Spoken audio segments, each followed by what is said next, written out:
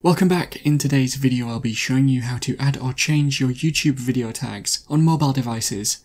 We'll be using the YouTube Studio app to do this, so make sure you have this downloaded. Remember to leave a like and feel free to subscribe if the video helps. Let's get into the method. To change video tags on mobile, load up the YouTube Studio app and log into your channel. If you don't have the YouTube Studio app, you can get it from the app or Play Store. In it, go to the Content tab and then find the video you want to change and tap on it. Tap on the pencil icon near the top right and then find the tags section, which should be near the bottom, and tap on the small right arrow. You are now able to view the current tags as well as add new ones by tapping on Add Tags.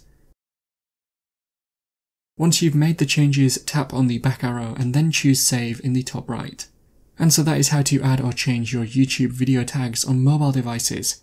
Click or tap the card on screen now to watch a video of mine showing you 10 easy ways you can speed up your Android phone.